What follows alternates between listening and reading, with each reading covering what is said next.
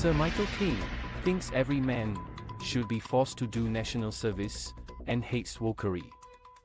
The 90 year old was 12 when World War II ended and was called up to the army when he was 18 and sent to occupy Berlin before he was sent to fight in Korea a year later. He told the Daily Mail's You magazine, I think every young man should be made to do it. It truly makes a man of you. But Michael admitted, he soon fell in love with the money he could make from acting when he came out of service.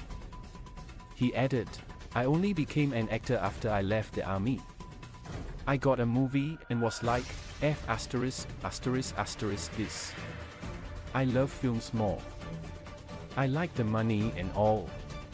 Michael's latest film is The Great Escaper, in which he plays real-life World War II veteran Bernard Jordan.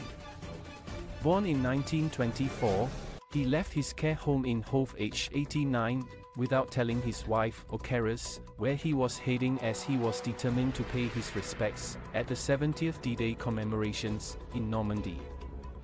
When he was tracked down, and on returning home was stunned to find he'd become a media sensation, nicknamed the Great Escaper.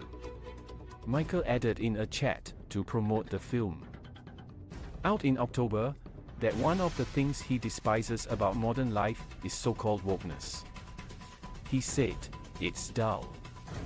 Not being able to speak your mind and not being able to call anyone darling. I try to make myself woke, but it's hard. I like to learn from friends who are younger than me. Michael added his main focus now is staying alive to see his grandchildren grow up.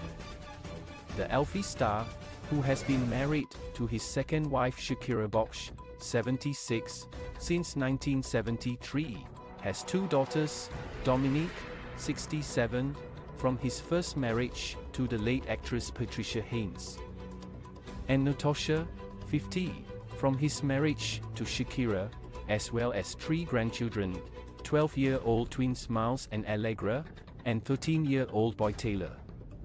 He said, as you get older, you inevitably think about dying. But as soon as you get grandchildren, your focus shifts. You think about them. You want to go on living, because they are so much a part of you, and you want to live forever to see what they do with their lives. You just want to keep going. He also said, when asked for his secrets to a long life, younger wives, no snacking, and wear trainers at all times. And you have to be careful not to fall down.